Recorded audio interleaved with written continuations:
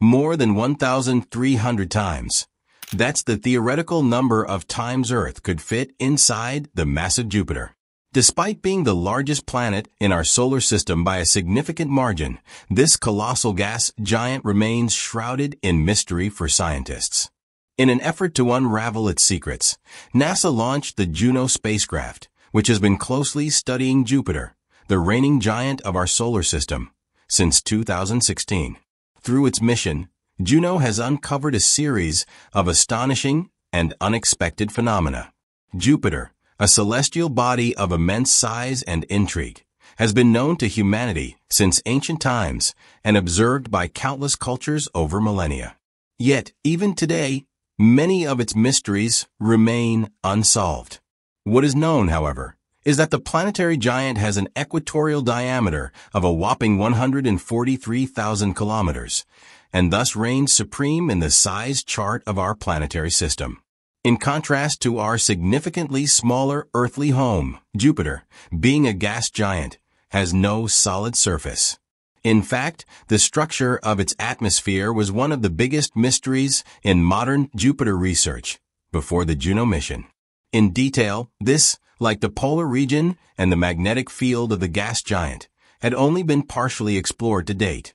And yet, this is just the tip of the mysterious Jupiter iceberg, because when Juno left our blue home planet on August 5, 2011, it had many more exciting mission objectives in its luggage.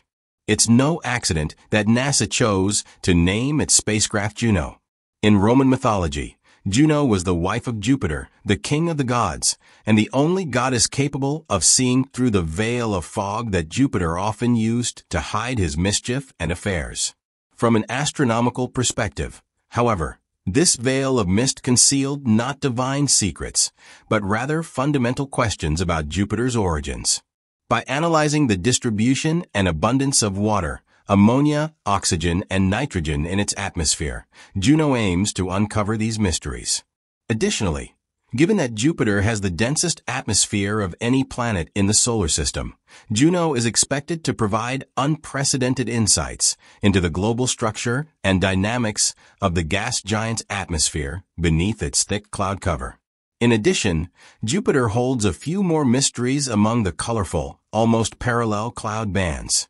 To gather new insights into the mass of the core, the convection currents in the interior, and the presence of water in the planet, Juno was tasked with measuring these phenomena. The magnetic and gravitational fields, along with our knowledge of the magnetosphere, which in Jupiter's case is the largest and strongest in the solar system, should also be taken to a whole new level during the course of the mission. So, what has Jupiter revealed in the realm of the gas giant? Jupiter is breathtakingly different. On July 5th, 2016, after a journey of almost five years, Juno swung into an eccentric polar orbit around Jupiter and, a few weeks later, performed its first close flyby, passing through the gas giant's cloud tops at a distance of less than 5,000 kilometers. The data and images gathered and generated during this mission once again astounded researchers on Earth, as the initial findings from Juno revealed some monumental surprises. Among these was the discovery related to Jupiter's polar regions, the distinctive wind bands that typically encircle the planet, contributing to its iconic appearance, seem to disappear entirely in these areas. In their place, massive storm vortices emerge, appearing as enormous spots and swirls. The storms near Jupiter's North Pole can span up to 1,000 kilometers in diameter, while those at the South Pole can reach even larger sizes, extending up to 1,400 kilometers across. A look at the subsequent Juno image reveals that these ancient formations are not only of immense scientific significance, but also hold a striking artistic quality. Although the structure initially looks like the work of an abstract painter, it is actually a purely planetary painting.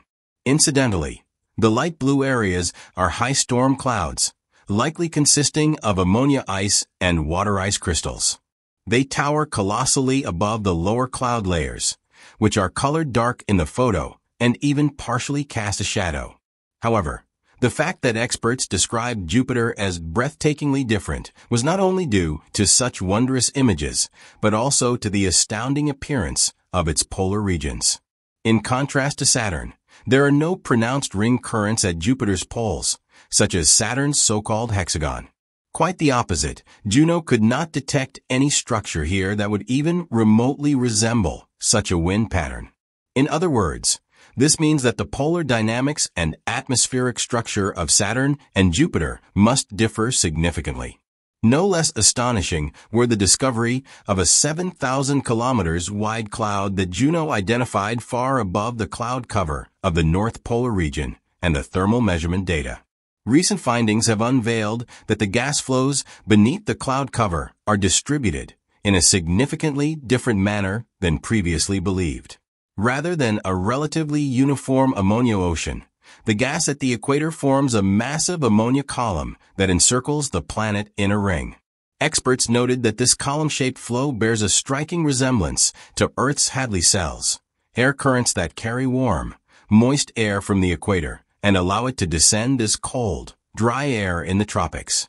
Additionally, an unexpected discovery was made regarding the magnetic field.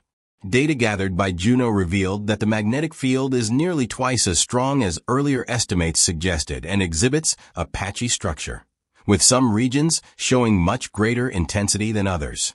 To say that the data collected by Juno caused a stir among scientists would be an understatement. Just how radically our view of Jupiter has changed becomes clear when we listen to the words of Scott Bolton, the principal investigator of the Juno mission. He said, the whole thing looks different than anyone would have thought before. I mean, no matter how we looked at it, we were shocked by what we saw. But sometimes, the things you can't see also cause a mixture of amazement and disbelief. Although experts had predicted a rocky core the size of Earth for Jupiter, the findings continue to challenge and reshape our understanding of this colossal planet. The initial data from Juno failed to confirm the prevailing theory about Jupiter's core. Scott Bolton remarked, We don't observe anything resembling a core. There might be a core composed of heavy elements, but it might not be entirely centralized. It could be much larger, possibly half the size of Jupiter.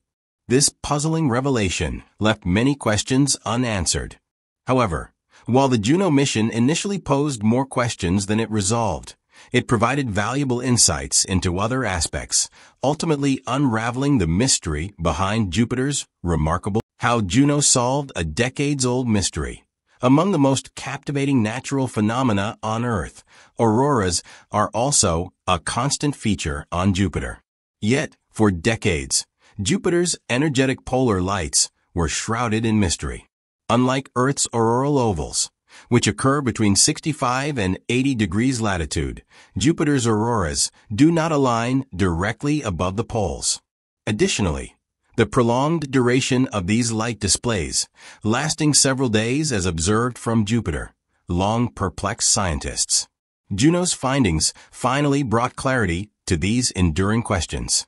But a few years ago, Juno, in collaboration with the European XMM Newton X-ray telescope, finally succeeded in uncovering the background to this peculiar phenomenon. After Juno had plunged into Jupiter's magnetic field, and XMM Newton had simultaneously analyzed an aurora over Jupiter's north pole. It was clear that the auroras are actually generated far away from the gas giant. More specifically, the oxygen and sulfur ions surf the polar magnetic field lines from one pole to the other, and on this journey, they are accelerated in stages by a special type of electromagnetic wave, which ultimately creates the typical pulsation. When the solar wind interacts closely with Jupiter's magnetic field, compressing it, electromagnetic ion cyclotron waves are generated in the outer region of the magnetic field. This interaction releases energy, producing vibrations that propel ions back toward Jupiter in bursts. Ultimately, this incoming particle storm activates the auroras, causing them to glow. Experts suggest that this fundamental phenomenon may also be relevant on other planets, such as Saturn, Uranus, and Neptune. The wet gas giant, As briefly mentioned earlier, deciphering Jupiter's origin is also one of the overarching Juno mission objectives. To understand how and from what the gas giant formed, it's therefore essential to take a close look at its chemical composition. That is exactly what Juno did when it studied the cloud cover of the Colossus at close range using its microwave radiometer. In principle, Jupiter's cloud-filled atmosphere does not consist of water vapor or water ice, but of frozen ammonia and ammonium hydrogen sulfide. Yet, there are also clouds of water ice here, and more than previously thought. While the measurements of the Galileo mission still indicated that the gas envelope of the planet contains far less water than assumed at the point studied, the observations made by Juno showed that Jupiter's atmosphere, at least at the equator, contains much more water than suggested by the previous data. The absorption pattern of reflected microwave radiation reveals specific details about water content, offering valuable insights into Jupiter's overall water composition. Numerically, this indicates that the equatorial region of Jupiter contains 2,500 parts per million of water, meaning water accounts for approximately 0.25% of all molecules in its atmosphere. If these measurements are representative of the entire planet, Jupiter's atmosphere would hold three times more water than the Sun reflecting on this remarkable discovery. Scott Bolton expressed his profound amazement, stating, Just when we thought we understood Jupiter, it reminded us how much we still have yet to learn. But what can the values tell us about the formation of Jupiter? Well, according to the current theory, the gas giant was the first planet to form in the primordial cloud around the young sun. In the process, it incorporated a large part of the material in the accretion disk. If Jupiter were to have formed through a partial collapse of the primordial cloud, its elemental distribution should correspond to that of the Sun and the rest of the primordial cloud. However, if the planetary core formed through the gradual accumulation of smaller chunks, these could have carried more ice and thus water. Some formation models can already be discarded based on the new Juno data. But before we can draw a comprehensive picture of Jupiter's birth, a little more patience is required. As previously noted, we still don't know if the water content in the equatorial region is representative of other areas on the planet. To address this, additional on-site measurements are crucial. The good news, however, is that Jupiter's successor mission is already underway. If everything goes as planned, the ESA's JUICE probe is set to arrive at Jupiter in July 2031.